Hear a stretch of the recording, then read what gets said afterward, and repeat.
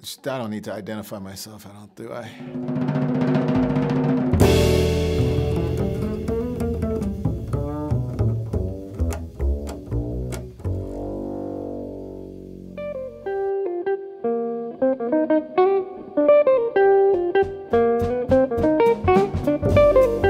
My new record, Upper West Side Story, is uh, where I'm from in Manhattan. I mean, I spent most of my childhood in that neighborhood, uh, right around Central Park uh, on the west side there. That really afforded me uh, many musical opportunities. I could connect with a, an Al Haig, somebody that uh, was, you know, played with Charlie Parker.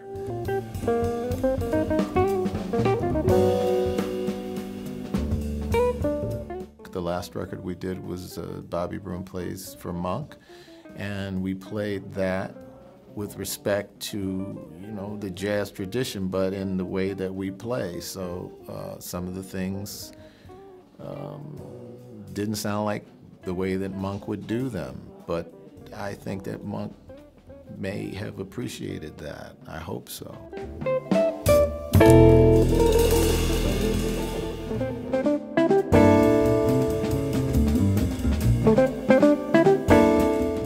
It's been um, helpful for me to understand um, expression, to understand uh, dynamics, and not just for the trio, but for music. It was, it's such an open sound because Bobby has never played the guitar like some conventional guitar player. This is my first record of all original material. I felt that, uh, you know, I just wanted to establish for the listeners, whoever's listening, my sound and, you know, who Bobby Broom is on the guitar. Can you recognize him? You know, do, do you care? so I kind of felt like, well, I've done uh, quite a few different projects playing other people's music, and um, it was time now to see, you know, to like really test the waters and, and, and see uh, if people really can relate to, to, to me as a musician and a guitar player. I don't think you've ever heard him play like anybody else to me. There's nothing chordally that um, that you reference to some standard issue guitar trio stuff.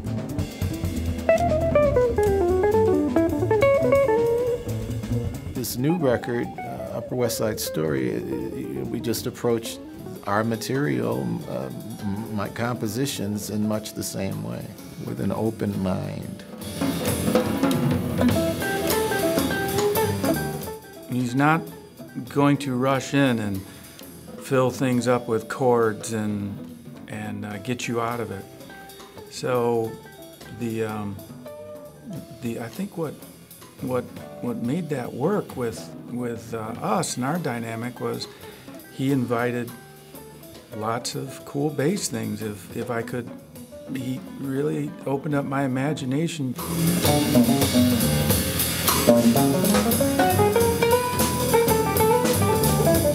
D's Blues was a uh, is a tune developed and created while we were recording another album actually. And so while we were recording there was a small space in the recording where uh, Dennis Carroll started playing this riff and where he's playing, he's playing and I just started playing, we're playing just like lightly and just like experimenting and it became something. Uh, these are songs that I've written throughout the years, some very brand new.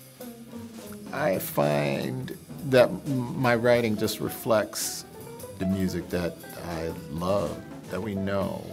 Uh, I'm not really trying to do anything but create music that is listenable to me and that feels good to me because I like to think that I am a, a music lover and fan, and I try to remain uh, in that same place that I was as a child.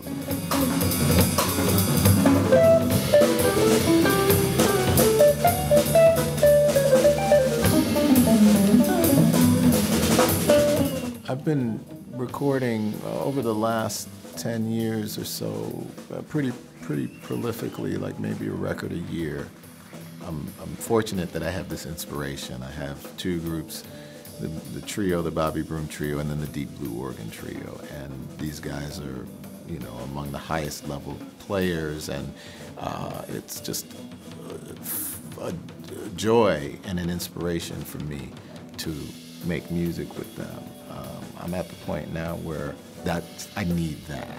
I need that inspiration. I need that, it, it, and it, it can't. I can't fake that. It just has to come up in me.